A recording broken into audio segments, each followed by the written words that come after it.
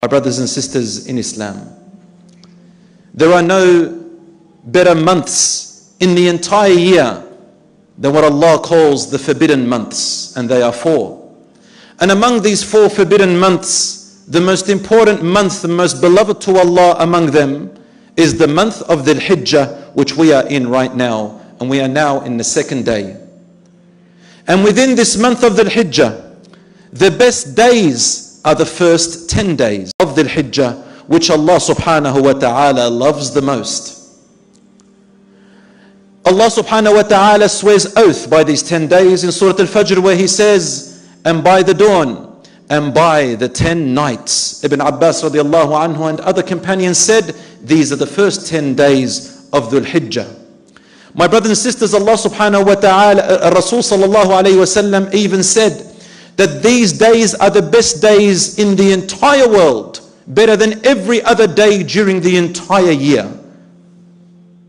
And the great Ibn Hajar, the great scholar, said the reason probably for these 10 days to be the most important and beloved is because within them there are all the actions of worship that occur that do not occur in any other month other than it, such as fasting, prayer, hajj, sadaqah, all of them happen here.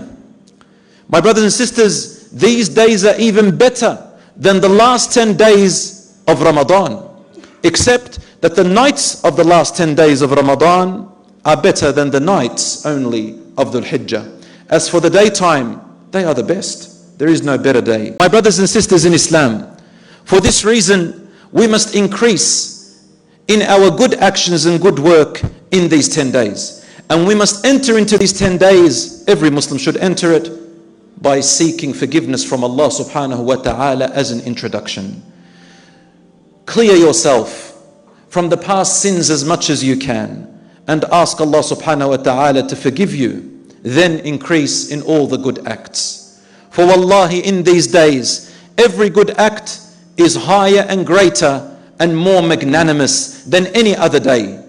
But at the same time, the sins and disobedience to Allah in these 10 days are also magnanimous and mean more seriously than any other days why? Because sins in the days which Allah subhanahu wa ta'ala has honored for Himself are greater and more serious than other days. Therefore, if you do a sin in these days, do not wait. Immediately repent to Allah subhanahu wa ta'ala and say astaghfirullah. Do not delay.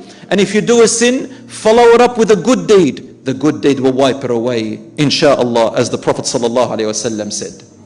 The Prophet, peace be upon him, said, There are no days that are more beloved to Allah in doing good acts than these 10 days. The companion said, O Rasulullah, even going to fight in the cause of Allah and dying? He said, even that, except for a person who goes out with his own self and his own wealth and does not return with any of them.